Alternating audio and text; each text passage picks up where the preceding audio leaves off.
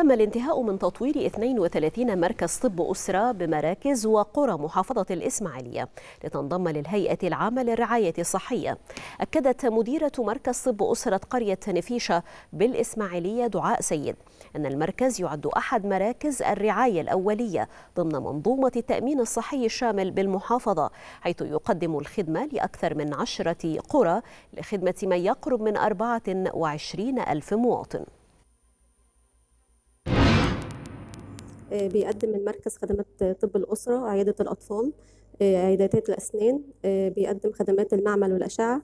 المركز بيقدم الخدمات الوقائية من التطعيمات الروتينية الإجبارية للأطفال ورعاية الطفل السليم. إدارة رضاء المنتفعين هي إدارة جديدة مستحدثة.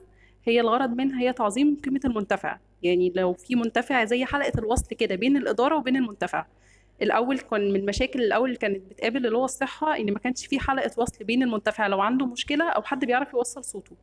رضاء المنتفعين هي دي غرضها. بنشكر سيادة الرئيس على خدمة التأمين الشامل بقى فيها رعايه رعاية جامدة والأسنان ممتازة جدا كل اللي فيها تمام. أنا متابعة أسنان بدري وتابعت فيها من وأنا حامل. بجد بنشكره على الرعاية الجامدة اللي بقت في المستشفيات. بنشكر الرئيس ربنا يصلح حاله. ربنا يصلح حاله. عملنا مستشفى نظيفة وعملنا نظام وحاجة حلوة والله الله يصلح حاله. ويكفي شر المرض يا رب ويصلح حاله وحل كله يا رب. والحمد لله يعني مرتاحين والحمد لله.